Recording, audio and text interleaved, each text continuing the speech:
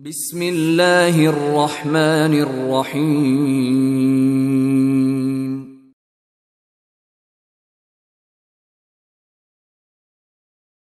क्या करो? वाला युबदीन जीनत हन्ना और अब फिर वो उस हुक्म की असल तमहीद फिर से दोहराई जा रही। कुरान का ला है, अपनी आँखों से पढ़ लीजिए। कुरान का ला है। वैसा ही लाम अलिफ ला है जैसा झूठ के लिए बुत परस्ती के लिए सूद के लिए, खंजीर के लिए, कत्ल के लिए, जना के लिए, रहजनी डकेती के लिए ला है, वैसा ही ला मलिफ ला है। और कौन सी आयत में है जिसके इब्तदा में अल्लाह ने फरमाया था अनसल्ला हम मैंने नाजिल किया है। इब्तदा में अल्लाह ने फरमाया था फरजना हाँ ये मैंने फ़र्ज़ किया है। ये कुरान का ला क्या है? अल्लाह का नाजिल करता है, ये कुरान का ला क्या है? अल्लाह का फ़र्ज़ करता है। इस ला की पाबंदी क्या? इस ला की पाबंदी पर कायम रहना फरीज़ा दीन है। अल्लाह ने फरमाया कि तुम अपनी जीनतों को ज़ाहिर ना करना। और फिर अल्लाह सुबहाना ताला ने एक फहरिस्त बता दी कि इस फहरिस्त के अलावा अपनी जीनतों को ज़ाहिर ना करना। जब ये कुरान का ला है कि अपनी जीनत को ज़ाहिर नहीं करना तो सबसे अहम ज़रूरी बात यह कि हम जीनत का तस्वुर समझें। क्योंकि जीनत के इजहार पर एक ख़ास स्पेसिफाइड सर्कल के अलावा उसके इजहार पर ला कर दिया गया है। तो गोया जीनत को समझना ज़रूरी है, जिसको कंसील और छुपाना ज़रूरी है। जीनत उर्दू का लफ्ज़ मुजयन करना। मुजयन करने का मतलब क्या होता है? किसी चीज़ को पहले से ज़्यादा खूबसूरत बना देना, पहले से ज़्यादा खुशनुमा बना देना, पहले से ज़्यादा हसीन और जमील बना देना। तो जीनत क्या होगी? जीनत हर वो चीज़ जो किसी दूसरी चीज़ को खूबसूरत बनाती है, उसको मुजयन करती है, उसके हुसन और जमाल में इजाफा करती है, उसको खुशनुमा बनाती है, उसको ब्यूटिफाई करती है, हर वो चीज़ जीनत है। औरत के लिए जीनत क्या होगा? कोई चीज़ जो औरत के हुसन में इजाफा करके उसको हसीन से हसीन तर बना दे। जो औरत को पहले से ज़्यादा खूबसूरत और खुशनुमा बना दे। जो औरत को ब्यूटिफाई कर दे, वो उस खातून की जीनत है।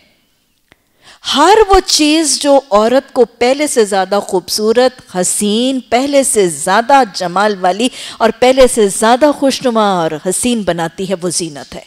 और हर ऐसी चीज़ पर अल्लाह ने ला लगा दिया एक स्पेसिफाइड सर्कल के बियॉन्ड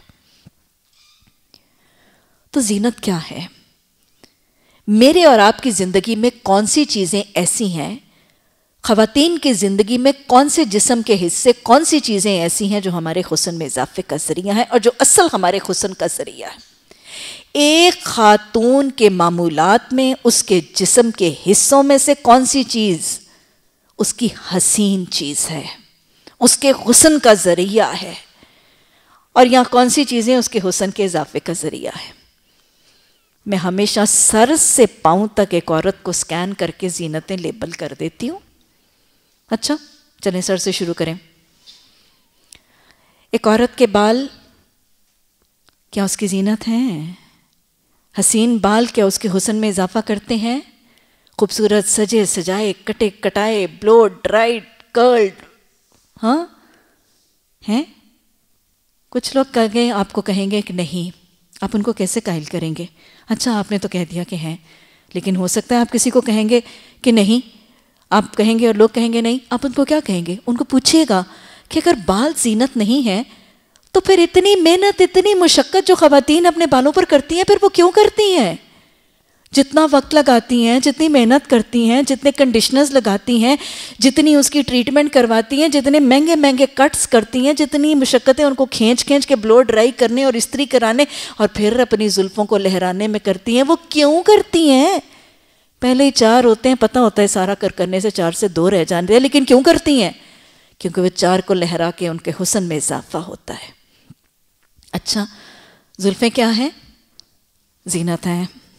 अच्छा ख़ातून के लिए उसका मेकअप उसकी कॉस्मेटोलॉजी सब कॉस्मेटिक्स आई मेकअप है मस्कारा है, उसकी उसके आई लाइनर्स हैं, उसके आई शेडोज़ हैं, उसके ब्लश ऑन्स हैं, उसके लिपस्टिक्स हैं, ये क्या करते हैं? उस औरत के हुसन में इजाफा करते हैं। उसको खूबसूरत से खूबसूरत तर बनाते हैं, है ना? उसके बहुत से फ्लॉस को छुपा के उसके हुसन को पहले से ज़्यादा तरोताज़ा करके दिखाते हैं। ये सब जेवर मेकअप ये सब कॉस्मेटिक्स एक ख़ास एक ख़ास दायरे के बियॉन्ड ये मेकअप ये सब कुछ नहीं साखिर किया जाएगा। जेवरात क्या है? खातन पहनती हैं जेवरात? झूमर, टिक्के, कानों में टॉप्स इयर पेंडेंट्स, इतने बड़े बड़े ज्यूब के ऊपर डाले जाने वाले गुलू बंद और पता नहीं क्या क्या कुछ। क्या वो औरत को हसीन तर बनाते हैं, खूबसूरत बनाते हैं? अच्छी लगती है ना? वो दुल्हन को जब जेवरात पहना जाते हैं तो फिर उसकी उसकी एक शक्ल ही और हो जाती है। जेवरात, जीनत हैं। एक खातून जेवरात पहन के अपनी सज धज, अपनी खूबसूरती, अपना हुसन और वो जेवरात से आरास्ता अपना जिसम इस इस स्पेसिफाइड सर्कल के बियॉन्ड किसी को नहीं दिखाएगी। वला युबदीन जीना तहुन्ना लिबास क्या है? बाल हो गया? मेकअप हो गया? जेवरात हो गए? आपने अपने माहौल में जब आप जाएँगे, आपने अपने सामीन को ऐसे एक एक चीज़ मुझे तो पता है मैं जिनसे मुखातिब हूँ, ये कायल हैं। आप लोगों को नहीं मैं कायल कर रही। आपको मैं कायल करने का तरीका बता रही हूँ। हाँ? अच्छा लिबास क्या है? लिबास एक औरत की जीनत है? नहीं। वो तो कहते हैं ना कि हम सर को कवर कर लें, चेहरा ढांपने, लिबास खुला। कहाँ लिखा है अबाया पहनना ज़रूरी है? कहाँ लिखा है चादर पहननी ज़रूरी है? हम लिबास खोल के चेहरा ढांप लेंगे, बस बहुत है। लिबास जीनत है। कि नहीं है? सवाल? पूछेगा अपनी सामीन से लिबास जीनत है? अच्छा अगर कोई लोग ना माने कि लिबास जीनत नहीं है, फिर उनसे वही सवाल कीजिएगा। अच्छा अगर लिबास जीनत नहीं है तो फिर औरतों की मतमारी भी इतना माल, इतना वक्त, इतनी सलाहियत खपाती फिरती हैं? सुबह से शाम तक अच्छे भले ड्रेस को मजीद पहले से ज़्यादा खूबसूरत बनाती हैं। फिर पूछिएगा अगर लिबास जीनत नहीं है तो फिर जिस हुलिया में घर बैठी होती हैं, मासियाँ बन के वैसे ही बाहर निकल क्यों नहीं जाती? हाँ जैसे मासियाँ बनी हुई, धोबने बनी हुई, घर बैठी हुई होती हैं, वैसे बाहर क्यों नहीं निकल जाती? क्यों बदल के निकलती हैं? लिबास को क्यों दुरुस्त करके निकलती हैं? क्योंकि लिबास क्या है? उनके हुसन में इजाफे का ज़रिया है।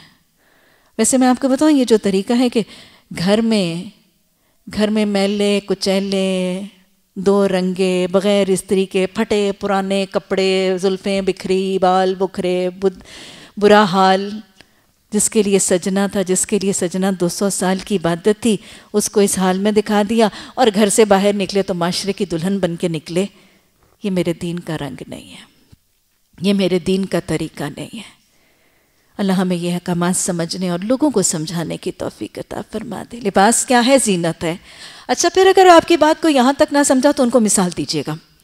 उनको मिसाल दीजिएगा एक दुल्हन की। उनको कहिएगा कि आपकी बेटी या आपकी बहन का ही शादी का वक्त होगा और वो तैयार होकर पार्लर से आएगी। हेयर स्टाइल भी बना होगा मेकअप भी किया होगा, आपने जेवर भी पहना दिया होगा। ज़ाहिर हेयर स्टाइल से पहले जेवर पहना दिया जाता है। अब जब वो तैयार होके आ गई हेयर स्टाइल भी बन गया मेकअप भी हो गया ज्वेलरी भी पहन ली तो लिबास तो जीनत नहीं है। दुल्हन को उसी सुबह वाले कपड़ों में बिठा दीजिए स्टेज को लिबास तो जीनत नहीं है। लिबास तो उसके हुसन में इजाफा नहीं करेगा। दुल्हन को अच्छा लिबास बनाने की क्या ज़रूरत है? फिर उनको ज़रूर ही समझ आ जाएगी। लिबास क्या है? लिबास जीनत है। लिबास एक औरत, एक खातून के हुसन में इजाफा करता है। उसको पहले से ज़्यादा खूबसूरत लगाता है। उसको खुशनुमा से खूबसूरत बनाता है। और लिबास जीनत है। तो गोया लिबास की जीनत को छुपाना ज़रूरी है। और छुपाया कैसे जाएगा? एक और जीनत के साथ। हाँ जी। छुपाना क्या मकसूद? था लिबास की जीनत छुपाना मकसूद है। वो लिबास क्या है जो लोगों को नज़र आ रहा है, उसको मुजयन नहीं होना। अगर अगर छुपाने वाला लिबास अंदर वाले लिबास से ज़्यादा मुजयन हो गया तो फिर अभी वाला युबदीना जीना हन्ना के हुक्म की अतात मुकम्मल नहीं हुई। ऊपर वाले जलबाब ऊपर वाली चादरें डायमोंटीज के ज़रिए और कढ़ाइयों के ज़रिए और कॉम्बिनेशंस के ज़रिए अगर ब्राइडल अबाए बना के डिज़ाइनर अबाए बना के डिज़ाइनर चादरें बना के अगर उस जीनत को छुपाया और ऊपर वाली जीनत अंदर वाली जीनत से ज़्यादा मुजयन हो गई तो इसने जीनत को नहीं छुपाया। अच्छा हमारे जिसम का सबसे ज़्यादा हसीन हिस्सा कौन सा है? वाला युबदीना जीनत होना, अपनी जीनतों को ज़ाहिर ना करना। हमारा सबसे ज़्यादा मुजयन हिस्सा हमारे रब ने कौन सा बनाया? हमारा सबसे हसीन हिस्सा कौन सा बनाया? कौन सा जिसम का हिस्सा है जिसका हुसन हमें सबसे ज़्यादा परेशान भी करता है? और जिसके हुसन के बारे में हम सबसे ज़्यादा कोशिश भी करते हैं और हम सबसे ज़्यादा कंसर्न भी हैं, चेहरा। कहाँ लिखा है चेहरे को कवर करने का हुक्म है? कोई नहीं, लिखा चेहरे को ढांपने का हुक्म है। वाला युबदीना जीना तो हुन्ना का तो हुक्म है। अच्छा लोगों को कायल कैसे करेंगे? लोगों को पूछिएगा कि अगर चेहरा जीनत नहीं है तो फिर एक धब्बा चाहे मेरी बाजू पे पड़े, चाहे मेरे चेहरे पे पड़े, मुझे कोई फ़र्क नहीं पड़ना चाहिए। मुझे चेहरे पर पड़ने वाली शिकनों और चेहरे पर पड़ने वाले धब्बों की जितनी फ़िक्र है, वो मुझे जिसम के किसी शिकन और किसी धब्बे की उतनी फ़िक्र नहीं होती। और फिर लोगों से कहिएगा ना कि अच्छा अगर चेहरा जीनत नहीं है और चेहरा हसीन हिस्सा नहीं है तो बस ठीक है पर अपने बेटे के लिए और अपने भाई के लिए जब रिश्ता तलाश करेंगी तो फिर चेहरा मत देखिएगा, उनके हाथ पाँव देख के बहू बेटी ले आइएगा। चेहरा क्या है? चेहरा एक खातून का सबसे मुजयन हिस्सा है। वो चेहरा उसका हसीन तरीन हिस्सा है। वो चेहरा उसकी सबसे बेहतरीन जीनत है। अल्लाह ने फरमा दिया है कि देखो ये मुसलमान औरतों, मुझे मान के मेरी मानने वाली औरतों, कोई चीज़ जो तुम्हारे हुसन में इजाफा करे या तुम्हारे जिस्म का वो हिस्सा जो तुम्हारी जीनत बने, उसको आइंदा इन आयात को पढ़ने के बाद वो आयात जो मैंने नाजिल की हैं, वो आयात जिनको मैंने फ़र्ज़ किया उन आयात को पढ़ने के बाद इस वेल डिस्क्राइब्ड प्रिस्क्राइब्ड सर्कल के बियॉन्ड किसी के सामने ज़ाहिर ना करना। Allah